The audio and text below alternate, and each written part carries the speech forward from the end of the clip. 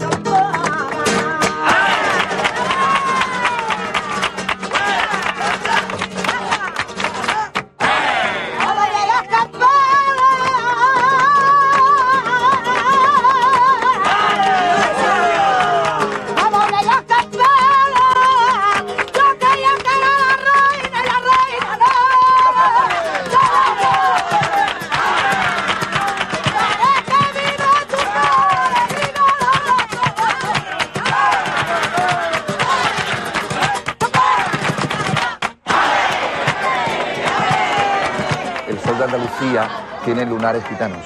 Aquí en Andalucía llevamos ya más de cinco siglos. De hecho, Federico García Lorca decía que lo más auténtico de Andalucía son los gitanos. Es decir, lo más auténtico, lo más castizo, lo más propio de Andalucía son los gitanos.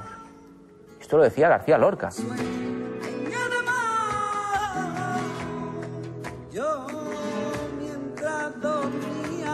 No voy a decir que todos los andaluces y todos los españoles somos buenísimos con los gitanos, porque no es cierto. Porque no es cierto porque hay veces que entran los gitanos en una tienda y simplemente por el hecho de vestirse con pendientes grandes, mm, los paran en la puerta para, a ver, ábreme la bolsa. No es justo. Entonces, el estereotipo eso yo creo que lo dejemos aparte porque el gitano es mucho más.